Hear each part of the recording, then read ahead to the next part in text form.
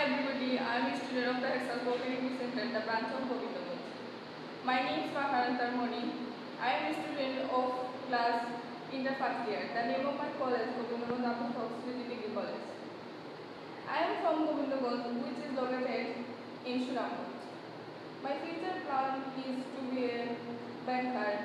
I like traveling with my friends.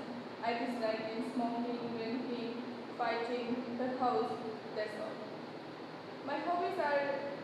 Gardening, uh, listening to music.